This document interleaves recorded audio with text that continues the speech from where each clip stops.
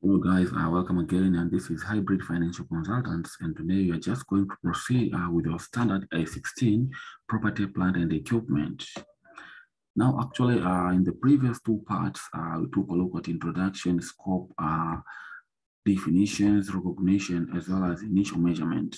But actually when, when it comes to initial measurement, actually there are a lot of ways that we can use because we said that initially PPE is recognized at cost. This one, recognize it at cost, and uh, we took a look at an example, at an example, but also you can recognize it at a deemed cost, which is usually the fair value. And when does this usually happen? You know, this can happen, let's say, in case of uh, you have an asset, you didn't actually didn't pay for an asset. Let's say you, you made an exchange, exchange of assets, at which point we usually consider fair value if possible. And now let's check at that we did this part here of initial measurement. And uh, all right, stop with this subsequent expenditure. Let's go here to exchange of assets. What happens when we make an exchange of assets? You acquire an asset by exchange. Let's say you give out a machine and then you are given uh, another asset. How do you record that in the books? Because we'll be having at the first for the first time, how would you recognize it? Here, here we go. IAS 16 specify that exchange of items of PPE, regardless of whether the assets are similar, are measured at fair value. So when you exchange actually the assets, you have to use fair value unless it is impossible. Except when it is impossible. But otherwise, you have to use fair value. That's why you say unless First, the exchange transaction lacks commercial substance. This is number one. Actually, we'll see by me lacking commercial substance what it, what it means. Oh, the fair value of neither assets exchanged can be measured reliably. I think this point number two is very, very obvious. We say that we measure an asset are using fair value, but we cannot obtain the fair value. There's no reliable measurement of fair value. So it's pretty obvious that even if there is a commercial substance, you, you won't be able to use fair value because you won't have such values. And so say, if the acquired item is not measured at fair value, its cost is measured at the carrying amount of the asset given up. Don't worry about this. I'll put actually uh, the ways on how to use the, these fair values. Just see down here. Let's just quote the meaning of commercial substance. What do we mean by commercial substance? Lack of commercial substance means that, let me tell you one thing just presume that uh, you're exchanging two cars. Maybe you have uh, a Ford, a Toyota Ford, one Toyota Ford and the other Toyota Ford, exact with exact everything, no difference at all. That that is to make it easier. Lack of commercial substance means no implications on future cash flows. We just go and take a look at the impact on future cash flows and how do you know that uh, there will be an impact on future cash flows. We check at these markets here. We consider risk, then we consider timing, but also consider amount, or you could just say capacity. If there is a difference in either of the, in at least either of the three, then we say that there is a commercial substance. You know, let me tell you one thing, it's just very, very, I think just very clear. We are just speaking on the implications on cash flows. And now, if you're speaking of implications on cash flows, uh, let me just give you a brief description. I hope that uh, you have a, a, bit of an idea about time value of money. You know, when speaking of cash flows, how do you obtain uh, the present value of cash flows? even in case of investment appraisal, we usually take cash flows. Let's say if it's cash flow one, and then we discount it by one year. We discount it by one year. And then you go cash flow two, you discount it by one year, by, by two years. Then cash flow three by three years, cash flow four by four years. You know, by discounting, that means you have cash flow in the first year, second year, third year, fourth year. So by saying timing, we mean that actually uh, the time that an asset has in, in the remaining life. So if there is a difference in timing, that means there will be difference in cash flows because there will be less number of cash flows in the years but also we speak of the amount. By the amount, we speak of the truly value of these cash flows. What do these cash flows entail? And by saying these cash flows entail, they be reflected in the they could be reflected in the value of the asset. Also, we're speaking of the risk. By speaking of the risk, you know, these values here, these cash flows are usually discounted to present values. That discount factor incorporates risk. Actually, it will be a risk discounted factor. That's why we speak of the risk. So speaking of the three matters, we actually speak of the value, what we could actually recoup from that asset by continuing using it. So that's what uh, we are just speaking about. So I think uh, you got me on how we speak of uh, the commercial substance. That's what we speak of commercial substance. So when you exchange the assets, you will just need uh, to use the following procedures so as to value them, just like this. So check down here, here. This is the order of preference. So when exchanging the assets, let's say you have asset A and you, you, you, you take asset B and give out asset A, this is what we will be doing. First of all, you will measure the asset at the fair value of the asset given up.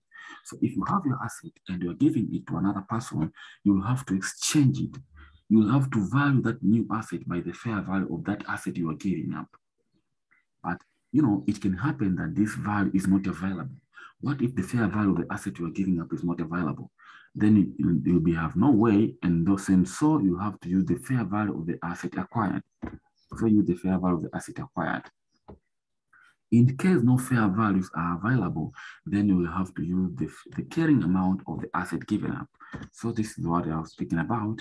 And actually, this is what about this carrying amount of the asset given up is sort of specified over here. So let me give you an example. And so that I will, we just take a look, we just take a, a, a better look of what I'm just trying to speak of. Let's consider these two things. Let's just go to an example. Let me give you uh, a very, very good example. Let's say you are ABC Limited. ABC Limited, and you have an asset. ABC Limited has asset A. And this asset A of ABC Limited has a carrying amount. Let's presume that this asset has a carrying amount of this figure. The carrying amount is 30 million, let's say. But also let's presume that this asset has a fair value. Fair value of this asset that you're about to give up is let's say uh, 40 million, right? And then we proceed. Let's say to uh, you have asset B. Asset B you, you need to acquire. Asset B. This asset B is an asset to be acquired. So you say to be acquired, just like this. So you need to acquire asset B from someone else. This asset A actually, actually is what is owned. And that is what we expect to be given up. Be given up. Be given up. You have this asset, you expect to give it up. Also, you have asset B, you expect to acquire it. Let's say asset B also has a carrying amount of say uh, 5 million by the same principle, let's presume that this asset B has a fair value of how much? Let's say asset B has a fair value of 30 million, or let's say of 35 million, just like this. So you're told that you're about to give out asset A and receive asset B. How would you recognize that asset B in the books? So as I told you, what we have to do, first of all, uh, you know, we did recognize asset A and we recognize asset B. So you have to de-recognize asset A. So asset A in the books is carried at 30 million. So uh, first of all, I'll have to, to de-recognize this 30 million. De recognizing 30 million because an asset has a debit nature, I'll have to credit asset A carrying amount and credit in the books by what amount? Asset A was carried at 30 million. So I credit by 30 million, just like this. And then we, we will have to recognize asset B because they're just going to recognize asset B. Now this is pretty much obvious, B, but what I really want here is to know the value at which to recognize asset B. At what value are we going to recognize asset B? We said that first of all, you take a look at fair value of asset given up. Since we're giving up asset A, we just take a look. Asset A has a fair value of 40 million. So if it has a fair value of 40 million, that means I'll have to recognize asset B at the same value, which is 40 million. I mean, 40 million.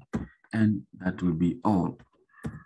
So you have to take a look. You know, you have to complete the double entries. Debit side has 40 million, while credit side at 10 million, uh, 30 million. So I have to balance it by putting the gain here. Gain, gain on fair value exchange. What gain will I have now? I'll have a gain of 10 million. Where would this, where would this gain go? This gain will actually be recognized directly to the statement of profit or loss. So to go to the statement of profit or loss. I hope everything is fine here. I hope you got me. So this is how we, how we go about the exchange of assets. Now, let's presume the second scenario. Let's presume the second scenario here. Let's say that it, it, it happened that you didn't have the fair value of the asset given up. Suppose we say no fair value of asset A, the asset given up. In case no fair value of asset A, we, I would have to use the fair value of the asset acquired, which is 35 million. So in that case, we say fair value of asset B, which is the asset, asset to be acquired, just like this. So my double entries what would have happened to my double entries here? As usual, I would have to first de-recognize asset A. So I would recognize asset A at its carrying amount, which is uh, 30 million, just like normal, 30 million. And then I would have to recognize asset B. So I will write here debit, then asset B. What value now at the fair value of asset acquired, which would be 35 million. So here I will use 35 million and then I'll have to balance my books, just balance my double entries. Credit side as a, as a deficit of actually a three, 5 million. And so I'll put 5 million here and this gain will be taken to the statement of profit or loss, just like this. And then I would place here 5 million, just like this. So that's how we do. Now let's take a look at the far at the last uh, possibility. Let's presume that at the last possibility, you are told that there is no fair value. Fair value of neither assets cannot be obtained. If fair value of neither assets cannot be obtained, what would we have done here? What would we have done if no fair value of either assets? If no fair value of either assets, which is the third scenario, third scenario, this is what would have happened I would have to use, let's say, no fair value, no fair value at all, no fair value of any asset. In this case, actually, I would have uh, to recognize the asset, the fair value, at the carrying amount of the asset given up. So actually, there will be nothing more, nothing much to do here, because I will have to, to recognize asset A amount, recognize it in the books. It had a value of 30 million and then I would have to recognize asset B by debiting it. So debit here, asset B at the same value, which is 30 million because it's the value of asset given up. So there will be no gain or loss on the fair value on the exchange of assets. So this is what would have happened. We'll just change the values, remove, we just change the assets, change asset A to asset B, and all would have been done. But also, uh, as I said, for scenario one and scenario two, we use the fair value only when it can be obtained, but also there is a commercial substance. In case the transaction lacks commercial substance, in case you're exchanging two cars of actually the same value, the same amount, the same capacity, actually you will have to do nothing. Let me tell you one, let me, let me write this off a bit. Uh, let me do this here. Let's presume that you had a scenario that risk amount and timing is the same. Look at the risk. Let's say you're exchanging two cars uh, which are doing maybe the same business. Same business, let's say they are subjected to the same risk, but also let's say that uh, you are doing uh, you, you are just exchanging the machines maybe of the same of the same capacity exchanging machines of the same capacity capacity the same, so no change during the cash flow is expected. And lastly, let's say uh, you're speaking of timing. Say the meaning of timing here. Uh, let's say you're exchanging machines which both have a useful life of five years. In five years useful life. Means this would mean that no implication on cash flows. And so no, if no implication on cash flows, we say that fair value cannot be used just like this. So there will be no use of fair values. So this is how we account for the exchange of assets. I hope that you got me and everything is all right.